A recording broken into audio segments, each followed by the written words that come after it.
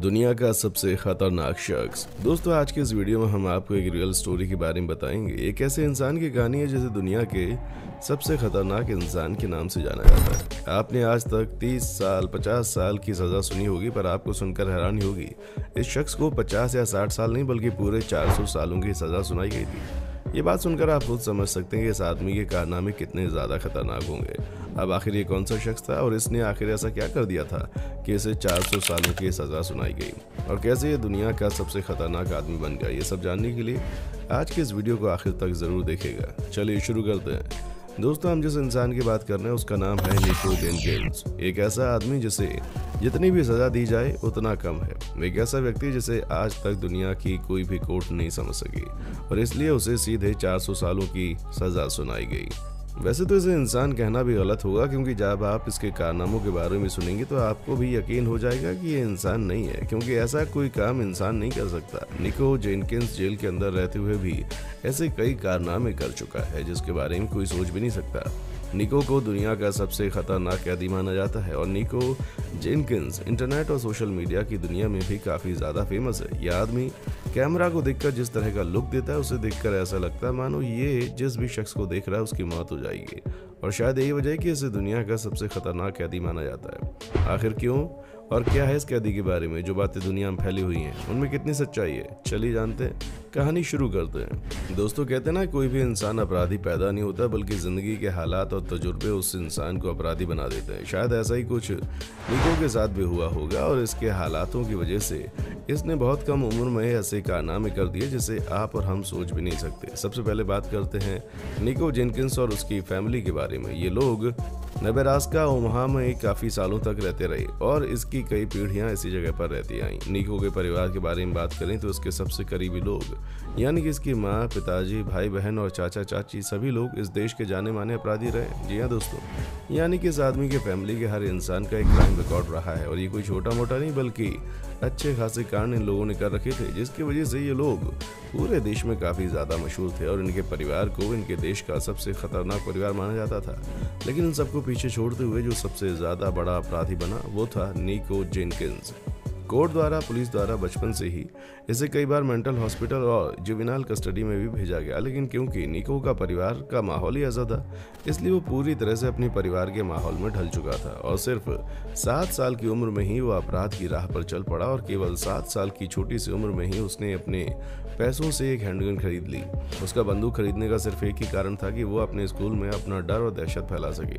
और वो चाहता था कि उसके स्कूल में जब उसकी बात माने और अपने स्कूल को खौफ में रखने के लिए उसने इतनी कम उम्र में बंदूक खरीद ली। इन सब बातों का असर उसके ऊपर पूरी तरह से हो चुका था और 11 साल की उम्र तक उसने स्कूल बंक करना शुरू कर दिया। वो पूरा का पूरा दिन स्कूल से गायब रहता और इस समय वो कहाँ रहता, इसकी किसी को खबर नहीं रहती। स्कूल बंक करके वो सीधे शहर के लोकल गैंग के पास चला जाता और पूरा दिन लोगों के साथ आवारागर्दी करता रहता और इन लोगों के साथ मिलकर प्लान करता कि अब आगे उसे कौन सी वारदात करनी है और कैसे लोगों में अपना डर बैठाना है। दोस्तों, तेरह साल की उम्र में ही इस व्यक्ति ने एक आदमी को चाकू मारकर गंभीर रूप से घायल कर दिया था। ये वो उम्र होती है जब बच्चे अपने दोस्तों के साथ खेलते हैं, घूमते हैं, फिरते हैं और स्कूल में पढ़ाई करने जाते हैं, लेकिन इस उम्र में नीको ने एक आदमी को गंभीर रूप से घायल कर दिया था।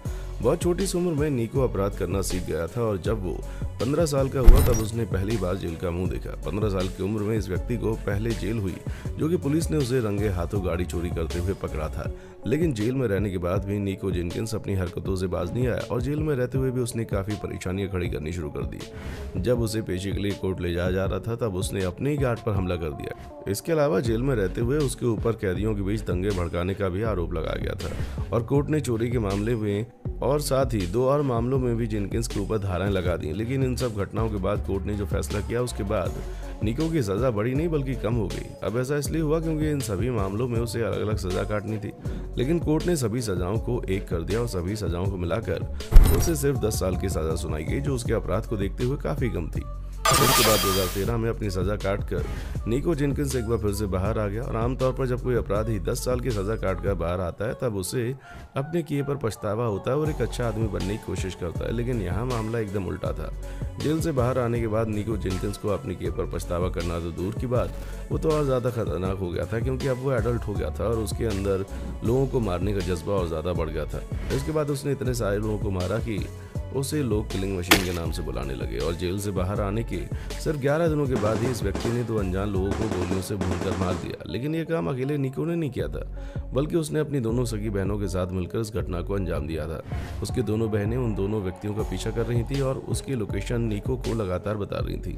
वहीं इसने मौका देखकर उन दोनों को अपनी गोलियों का निशाना बना लिया और उन दोनों ही लोगों को ने सीने पर गोली मारकर मौत के घाट उतार दिया। उन्हें मारने के बाद निको उनकी जेब से पर्स चुराकर फरार हो गया। लेकिन ये मामला यहीं पर नहीं थमा, बल्कि इसके आठ दिन बाद ही निको ने उसी दिन छूटे एक कैदी को भी गोलियों से भूनकर मौत के घाट उतार दिया। लेकिन कमाल की बात तो ये थी कि ये व्यक्ति जेल में निको जेनकिंस का बहुत अच्छा दोस्त था, जिसकी हत्या निको ने की थी।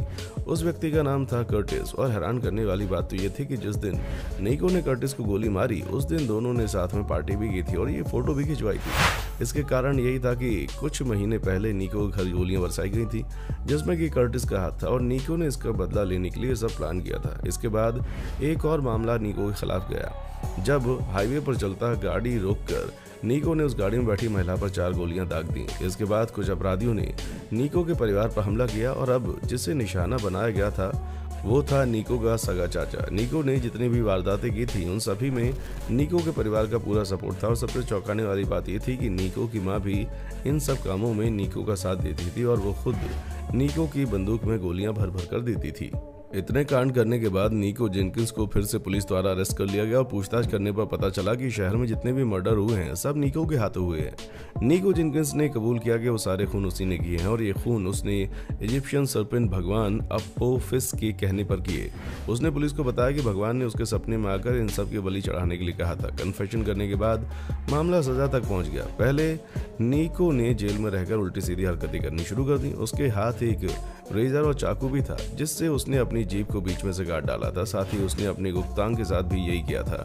यह सब करने के पीछे उसका कारण था कि वो अपनी जीप और गुप्तांग को सांप की तरह दिखाना चाहता था। इतना सब होने के बाद निको काफ़ी ज़्यादा सुर्खियों में आने लगा और देश भर के अखबार निको का नाम फ्रंट पेज पर छापने लगे और सही जगह निको की चर्चाएँ होने लगी। सोचने वाली बात यह थी कि इसे एकांतवास की सजा दी गई, जहाँ पर इसके ऊपर एक सीसीटीवी कैमरा लगा था।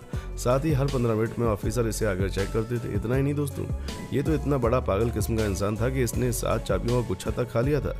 ये सोचकर कि फ्यूचर में ये उसके काम आएँगे। इतनी सब हरकतों के बाद भी उसे पूरे देश के साइकेट्रिस्ट डॉक्टर से मिलवाया गया। लेकिन सभी का यही कहना था कि ये व्यक्ति बिल्कुल ठीक है और इसे कोई दिमागी परेशानी नहीं है, बल्कि ये सब वो इसलिए कर रहा है ताकि उसे मानसिक रूप से बीमार घोषित कर दिया जाए और वो मौत की सजा से बच जाए। लेकिन नीको के सारे पैतरे फेल हो गए और 2017 में तीन जजों की एक बेंच ने नीको को मौत की सजा सुनाई और साथ में यह भी कहा कि किसी वजह से अगर ये सजा रुकती है तो इस व्यक्ति को साढ़े चार सौ साल तक जेल में ही रहना होगा। दुनिया का सबसे खतरनाक कैदी नीको जेनसन को ये सजा मिलनी चाहिए थी। तो दोस्तों, देखा आपने कि कोई शख्स कितना ज़्यादा क्रूर हो सकता है। वैसे आज का ये वीडियो आपको कैसा लगा, नीचे कॉमेंट करके बताएँ। वीडियो पसंद आया तो इसे लाइक करें और दोस्तों के साथ शेयर ज़रूर करें और साथ ही रोज इस तरह के अमेजिंग वीडियोस को देखने के लिए हमारे चैनल को सब्सक्राइब करना ना भूलें। सब्सक्राइब करने के बाद उस बगल में दिखाई दे रहे बेल आइकन को भी ऑन कर लें ताकि आपको हमारी इस तरह की वीडियोस की नोटिफिकेशंस टाइम पर मिलती रहे। देखने के लिए शुक्रिया।